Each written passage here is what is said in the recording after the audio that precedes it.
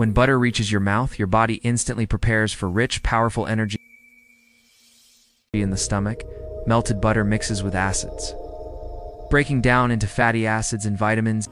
Tiny villi in your intestines grab nutrients and send them into your blood. In just seconds, the amazing energy from butter energizes your body. Healthy fats from butter support brain cells, helping neurons fire faster and stay protected. These fats also fuel your muscles, boosting endurance and supporting strength in small amounts. Natural butter can support a healthy gut lining and a steady microbiome, and its rich calories provide a quick, warm boost of energy when your body needs it. But for some people, too much butter can irritate the stomach lining. Dairy sensitivity can cause redness, itching, or mild reactions. Combined with carbs. Butter can contribute to a quick rise in blood sugar, and overeating butter may leave you feeling heavy, sluggish, or low in energy.